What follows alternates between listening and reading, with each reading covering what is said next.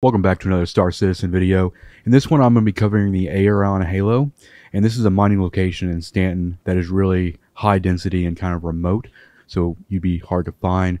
You can mine Quantanium out here as well as any other type of ore and I'll be going over the different bands, locations, and how to get there. The strategy for getting to the Aaron Halo is simple. You just have to set a route and then once you get to a certain distance from the destination you've set, you will drop out of quantum warp to land at one of the belts that you've uh, already predetermined.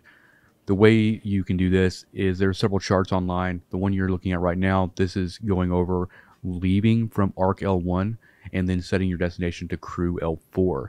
This number circled is the kilometers remaining when you should drop out headed to CRU L4 and then the return numbers would be if you were coming from CRU L4 to ARC L1 and where you drop out.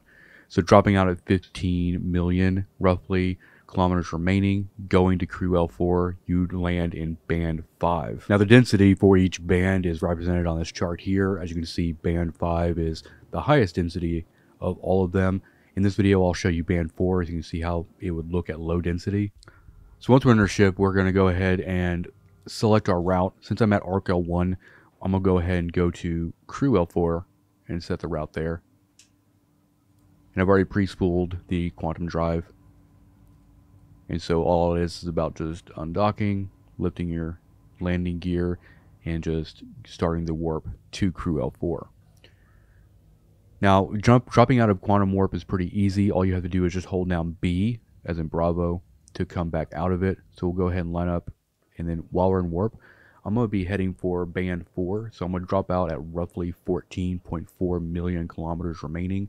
So I'll drop out right about there. And as you can see, the density is pretty low, and that's representative of this chart here, as you can see.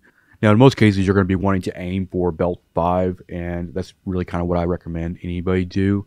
You can leave from any sort of refinery as well, which I will show you here, starting with ARC L1, which is one of my favorite to base myself out of. And as you can see, this is leaving from ARC L1, and then the numbers at the top are going to be representative of what you have your destination set at, and all the ranges, and whether you're starting from ARC L1 or you're going to ARC L1, it'll show you where to drop in and out of. Here's a chart for MIC L one, and it's kind of the same thing. There is going to be reference to all this stuff in the description as well for the site that these come from. And then here is CRU L1, and then you'll have HUR L2, and then HUR L1 as well.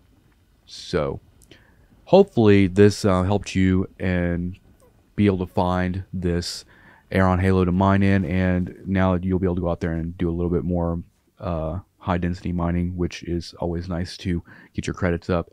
But thank you for watching, and hit the subscribe button, hit the like button, and I'll see you in the next one. Peace out.